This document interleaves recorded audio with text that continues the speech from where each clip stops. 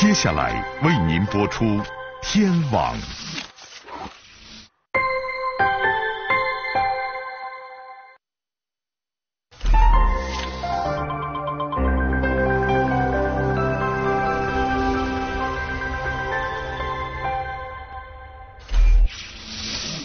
一具裸体女尸震惊北门江陵。夜幕下的树林中，谁在作奸犯科？严密推理，跟踪追击，视频显现犯罪痕迹。数个关键物证锁定摩托车车主，身陷囹圄之时，为何又嚎啕大哭？北门江谜案，天网栏目即将播出。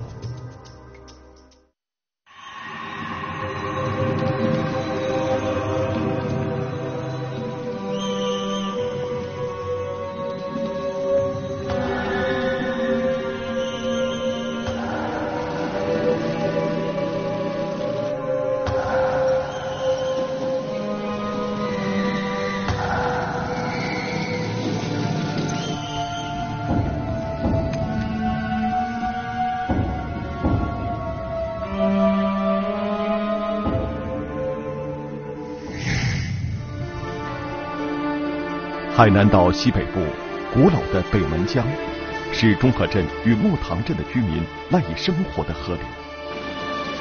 二零一四年九月一日晚，两个中和镇的居民驾着小船在河里打鱼，突然在河面上发现了异常的物体，看到个白色物体，我们就把那船往那个白色物体那边摇过去看这什么东西。我们一过去以后，看到两只脚秀起来，当时我们很害怕、紧张。白色物体的出现让两个打鱼的人慌了手脚，他们不敢细看，更无心继续打鱼，慌里慌张的往岸上赶。当时的时候，我们去的时候只有看到两只脚，也没看到注意看到有没有裸不裸体，只看到两只脚，我们就往紧张起来了。两只脚差起来像个人的人的脚，我们当时很紧张，就往里面跑。日常赖以生存的河道出现白色异物。让那两个村民觉得非常惶恐不安，跑上岸后做出了唯一正确的选择。跑到岸，当时我们想到的这个事情就可能是严比较严重，我们当时就首先想到的是打幺幺零向公安机关报案。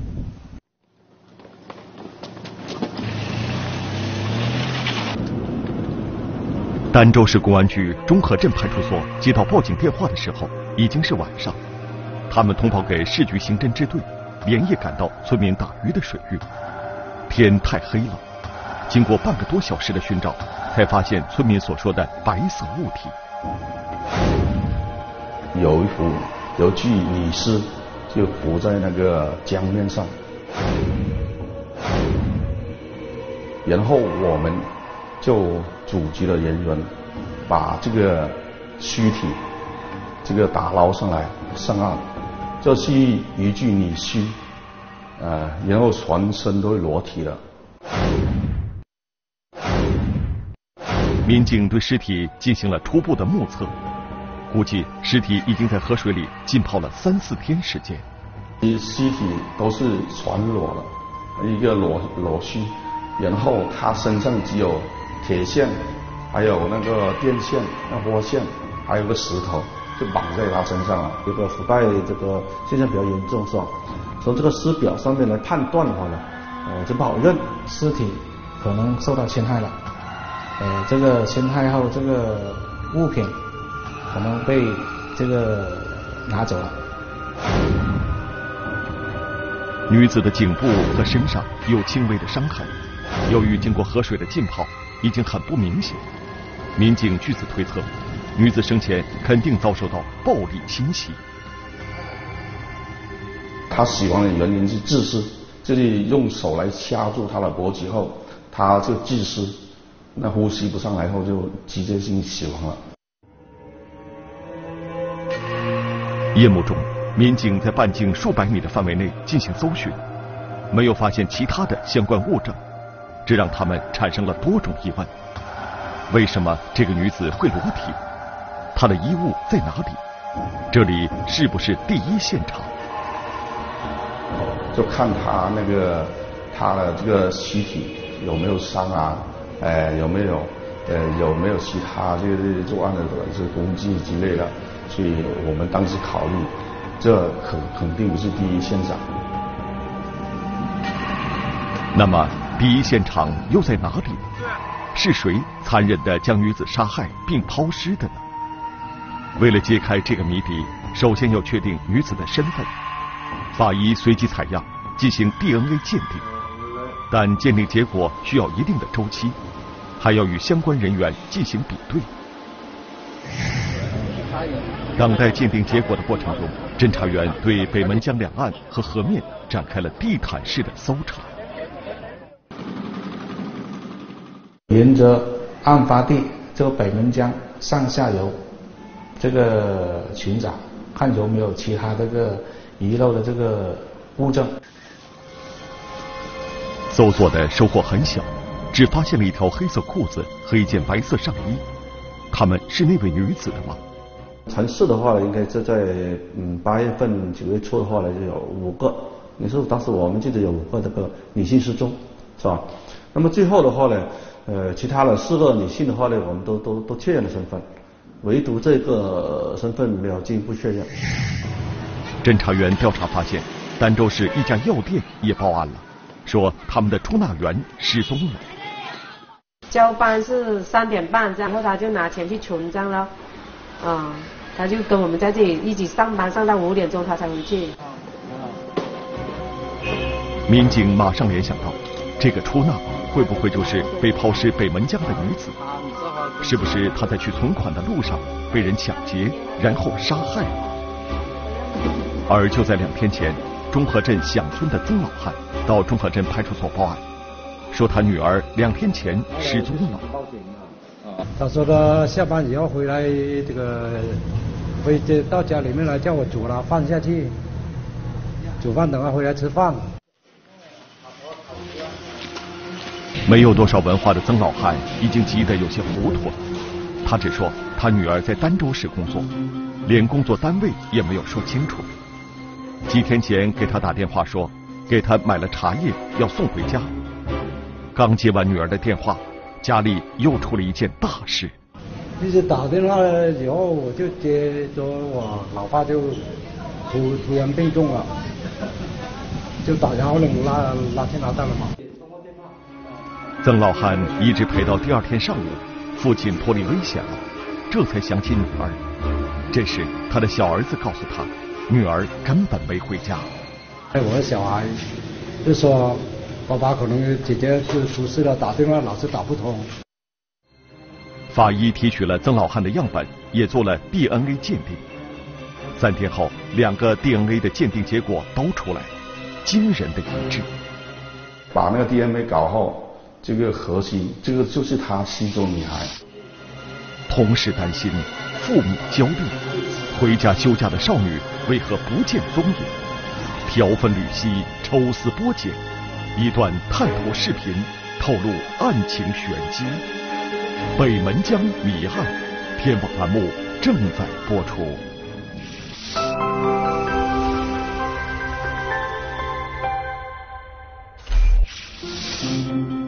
海南岛北门江上出现一桩奇特的抛尸案，两个打鱼的农民发现一具裸体女尸，侦查员连夜出警，围绕裸体女尸展开地毯式调查。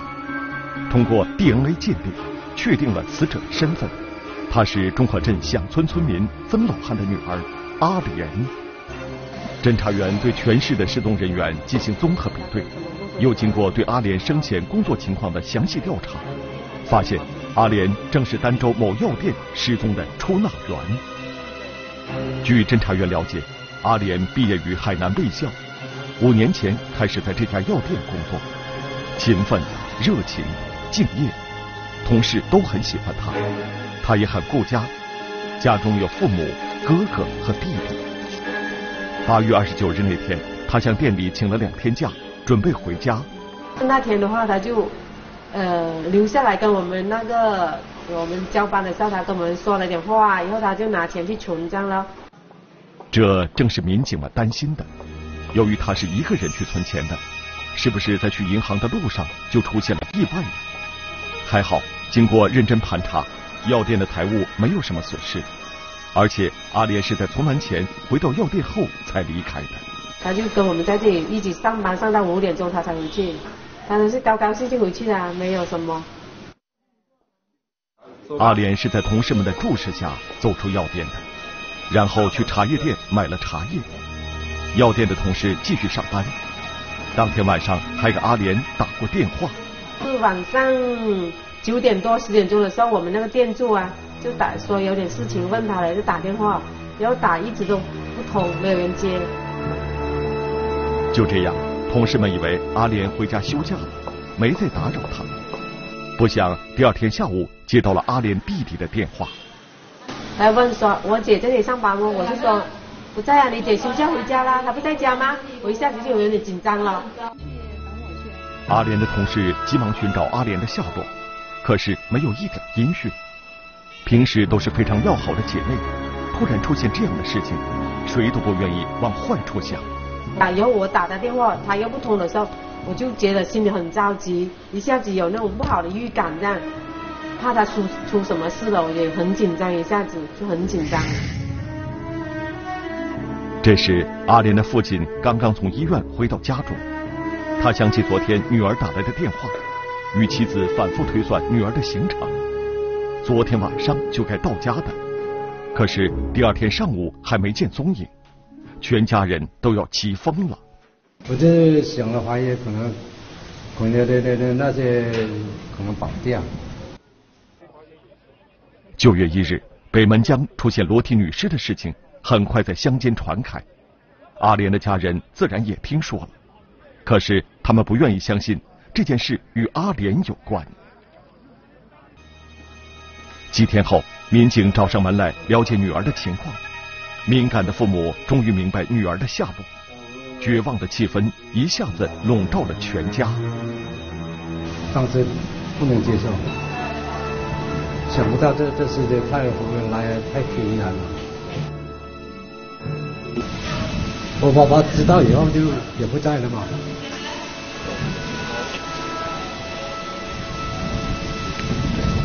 短短的几天时间，失去了两个亲人，这样的悲剧都是因为杀害阿莲的凶手造成的。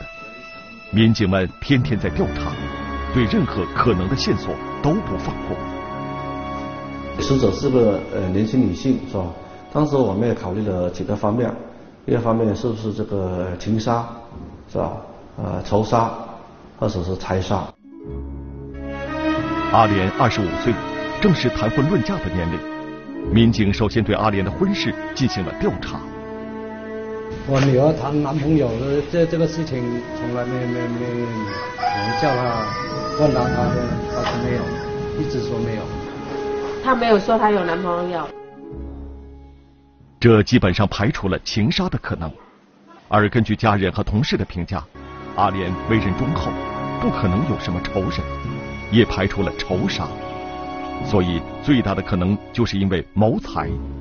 可是当时阿莲已经把药店的钱存入银行，他随身携带的不过几百元现金，会引发谋财的命案吗？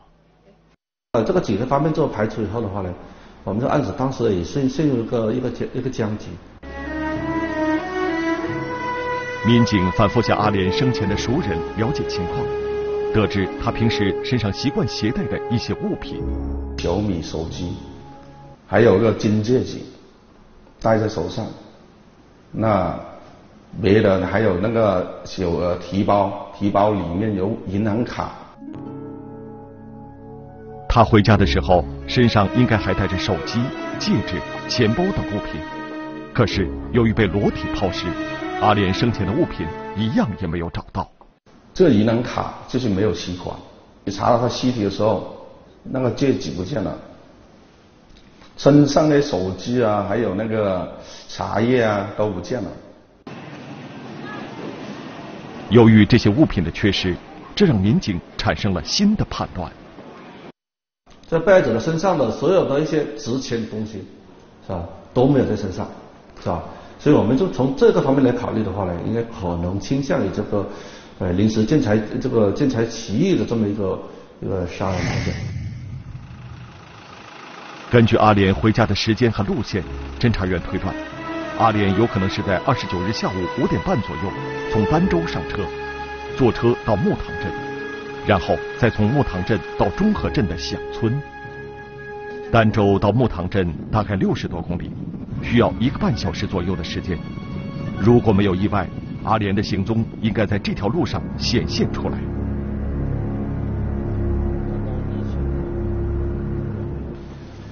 侦查员调取了沿途的探头视频，果然在木塘镇的一个十字路口处，发现了一个穿白色上衣、黑色裤子的少女。有个女的，就要下车了，下车从这里走。经过阿莲的家人和同事辨认，这个少女正是阿莲。她穿的是黑裤子，这个白白衣服，她后面拿着那个东西。这个也是一个乘客刚下车，哦，这这这辆三轮车就问这个坐不坐车，也跟这个男的打招呼，也是问坐不坐车，这两个都没有理他。视频显示，阿莲往中和镇方向走去，超出了探头拍摄的范围，看不见他此后究竟是乘车回家的，还是步行走的。光线的问题很模糊。加上这个摄像头的死角，就女孩子就走出了我们这个摄像头范围后，就查不到了。这应该是阿莲最后的影像，仍然没有发现她被害的线索，侦查再次陷入僵局。黑车乱象，藏污纳垢，作奸犯科，世上没有藏身之地。手机销赃，戒指换钱，证据频现，凶犯即将爆出真容。北门江谜案，天网栏目正在播出。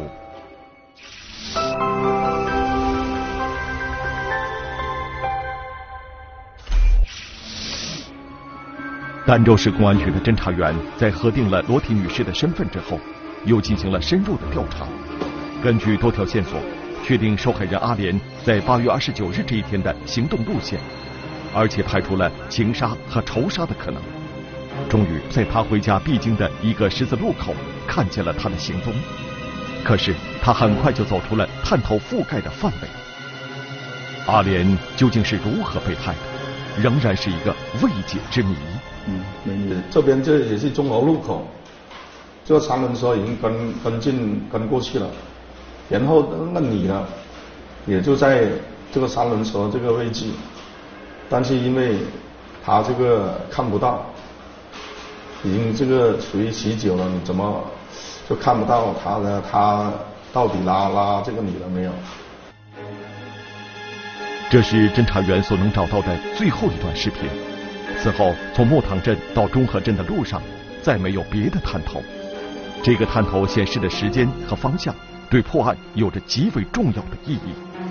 那我们进一步的调监控来看的话呢，哦，在这个一个视频切换角的话，确实发现八月二十九号的这个七呃傍晚的七点七点十九分，应该是。根据阿莲的同事介绍，他们在那天晚上九点钟左右给阿莲打过电话，已经打不通了。难道那之前阿莲就出事了？如果是这样。那么，阿莲就是在晚上七点十九分到九点之间出事的。那发现被害人没有回到中和镇，也讲白了，这个被害人应该是在木塘到中和的这路段里面，这个呃这个失踪了。由于当时天色已晚，从木塘镇到中和镇大概还有六七公里的路程，一个女孩子不可能步行回家，只有坐车。侦查员反复研究这段视频，尤其是在视频的死角处反复播放，终于发现了一个一闪而过的白色背影。哎，所以我们就不屈不挠的就看这个录像，终于有一个很鬼魅的一个车影一闪而过。侦查员认为，这个极其短暂的白色背影很像是阿莲的影子。而且看得出来是坐在车上。民警又根据这个影子倒查有哪辆车朝同一个方向开去。经过倒查，民警恍然大悟。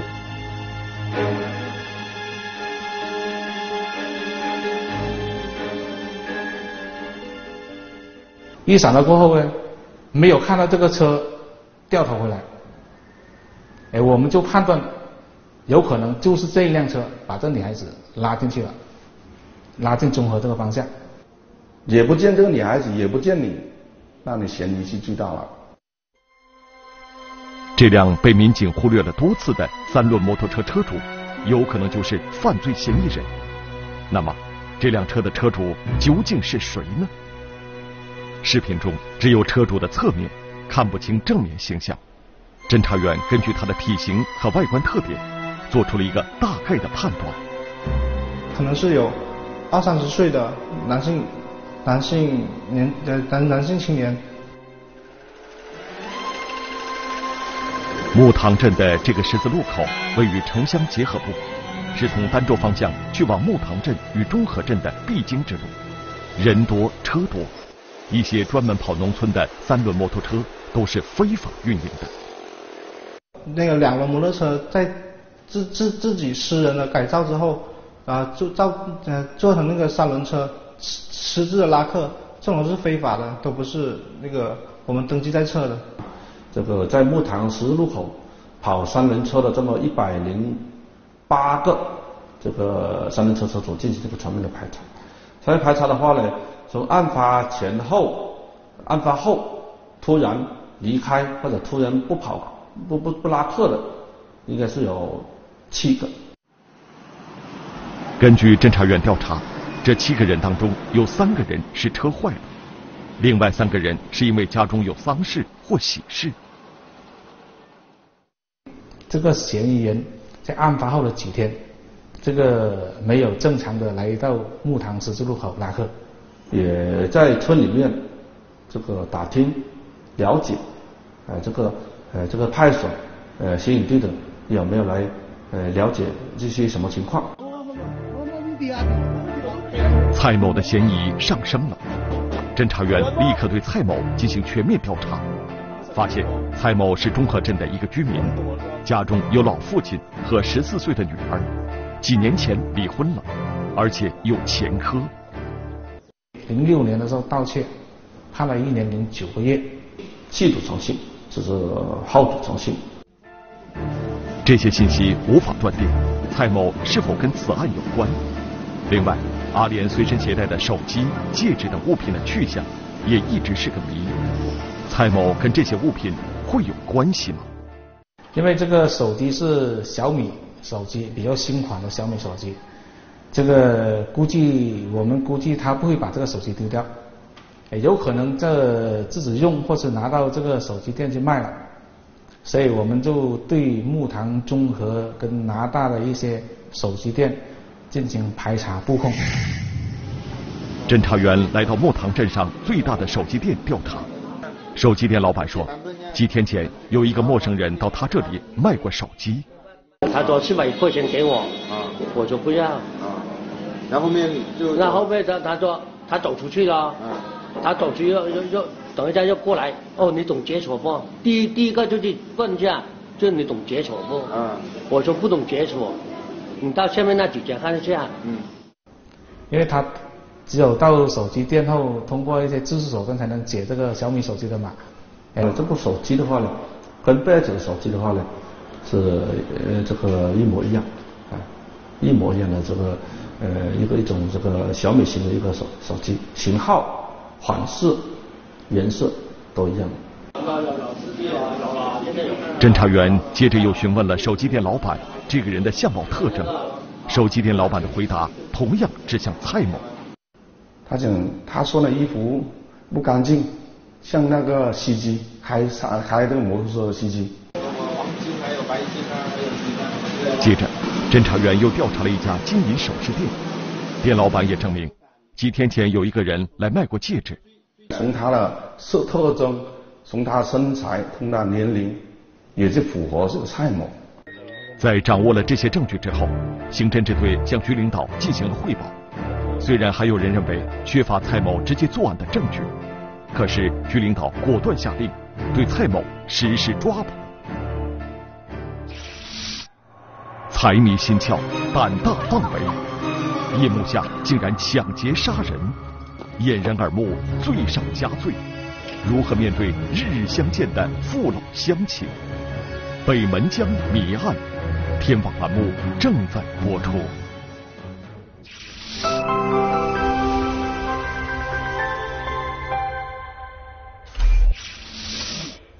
侦查员用极大的耐心，从一百多辆三轮摩托中找到了嫌疑车辆，并按照严密的逻辑推理，发现了犯罪嫌疑人卖掉手机和戒指的宝贵线索。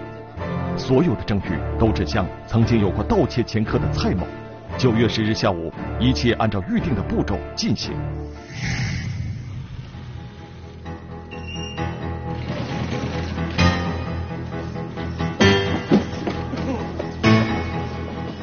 因为我们都是以绝对的力量来这个抓捕他，他反抗的机会也不多。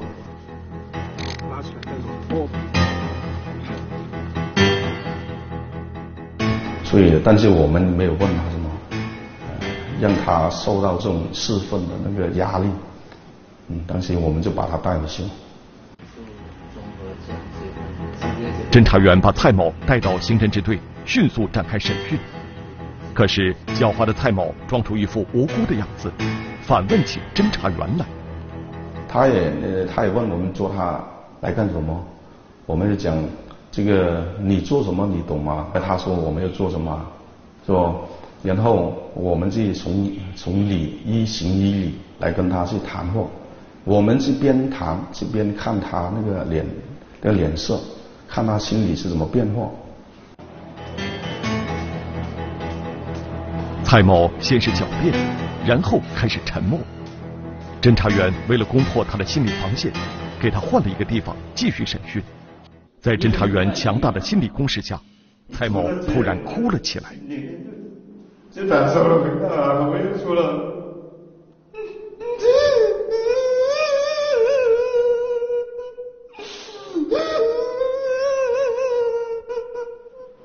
那你一哭，证明你压力大嘛？那你不作案，你面对我们公安人员，你为什么有压力？那肯定你是有案件的。心理防线被攻破以后，蔡某交代了他的一切行为。二零零六年，蔡某刑满释放后回家，无所事事，找不到正经工作，又不安心在家里务农，就弄了两三轮摩托车拉客。看到我妹妹放了一辆车在我家，我就说放闲的就闲的，我想呃开出去拉一点客，做一点生活，赚几块钱来做一点生活费用。他常常在木塘镇的十字路口等客人，由于拉客的三轮车非常多，客人供不上，他常常在车上睡觉。八月二十九日傍晚，在混乱的人群中，他发现了刚刚下车的阿莲。等到晚上十九点多的时候，就看到他，他跟一位男的从一辆中巴车下来，我就发现他有。手上戴有一个戒指，这与侦查员在探头视频中看到的情况完全吻合。那个男子只是同路的，与阿莲没有任何关系。蔡某看出了阿莲是一个人，就上前搭讪。他就跟过去问这个女孩子，说你坐车不？呃，他去拉客了吗？他说你坐车不？那女孩子也不理他。就直接走了。蔡某交代，这时他已经瞄上了阿莲手上的金戒指。初次被拒绝后不死心，开车转了弯又追过去。他说是中国，问我要多少钱，我说十五块，然后他就说十十五块不是呀，十块就是了。我就看他有一个戒戒指，我说。如果能想到你这个戒指的话，就哎不行，那十五块我就有这个想法。所以当时他心里就想要想这个女的这个戒指了。侦查员在视频中看到的那个一闪而过的背影，就是阿莲。他坐上蔡某的车以后，手里还一直玩着小米手机。手上的金戒指也再次勾起蔡某贪婪的欲望。开出几百米后，心怀鬼胎的蔡某突然拐上一条林间小路，引起阿莲的质问。就问了这个蔡某说：“你拐进小路干什么？”然后蔡某就骗了曾某说：“前面这个路修路，前面修路，路烂了，从这里也可以到中和镇。”因为阿莲是本地人，对路况有些了解，他觉得有点不对，想下车，蔡某却不理他，一直往树林深处开，开到没人的地方，便对阿莲下手了。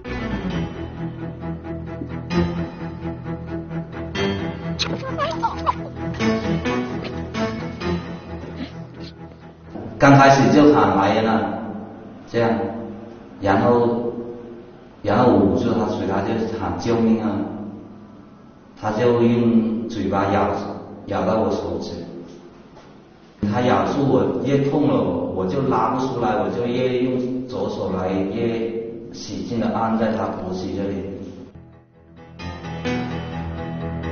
阿莲一会儿就不动了，蔡某从阿莲手上摘下金戒指。如意算盘得逞了，又看到了阿莲随身携带的其他财物，干脆想个干净。我先去拿他那个戒指，然后再拿他手机起来分析，还拿他那那些身上带的那些物品啊，那些茶叶装在一个袋子里。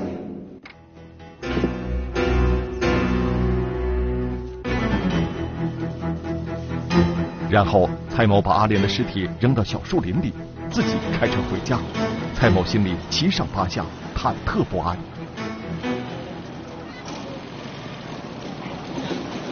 这害怕人家发现了，肯定，警察肯定来捉我了。嗯。捉我的时候，我就害怕人家一一命是杀人偿命，就害怕人家捉到就拿去枪毙了。为了掩盖罪行，蔡某又做出了一件更为可怕的事情。他拿着铁丝、绳子之类的东西，还抱了一块沉重的石头在车上，然后开上那辆三轮摩托车，先来到北门江看了看地势，接着就返回了小树林。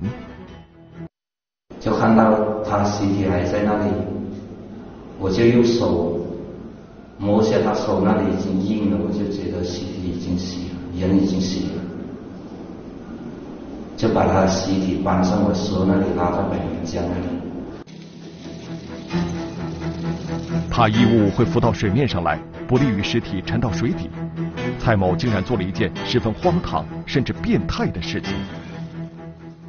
连衣服都脱完了，他头先脱他的，然后再脱了我，连石头跟他的尸体一下子。然后蔡某把阿莲的衣物扔到河边草丛里，其他物品一部分带回家，一部分卖掉了。对那枚又是他犯罪的金戒指记忆尤为深刻。戒指就是两百三一克，他那个戒指重量是两点九，两两点九八克，不到三克，三克的物质是六百九嘛，就六百八十。到北门江指认现场的时候，蔡某觉得对不起父老乡亲们，特意要求民警给他戴了一顶特制的头套，引得四村八乡的居民都来围观，同时也都投来谴责和愤怒的目光。案件破获以后，儋州市公安局进行了深刻的分析，蔡某见财起意，罪不可赦，是这起案件的根源。同时，单身女性搭乘黑车。也是这个案件的诱因之一。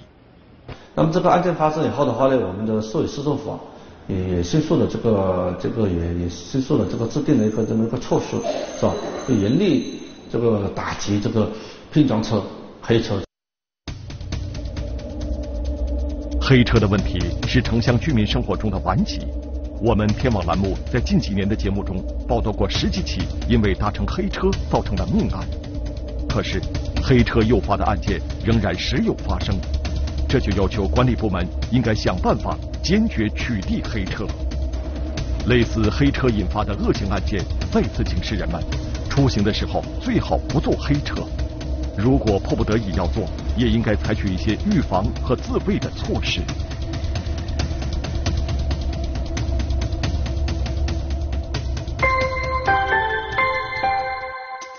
深夜时分，高速公路上一辆轿车疾驰而过，迷影重重，掩藏着一幕怎样的罪恶？循线追踪，警方发现制造血案的真凶，抽丝剥茧。案情水落石出，真相超乎想象。荒唐的亲王，天网栏目近期播出。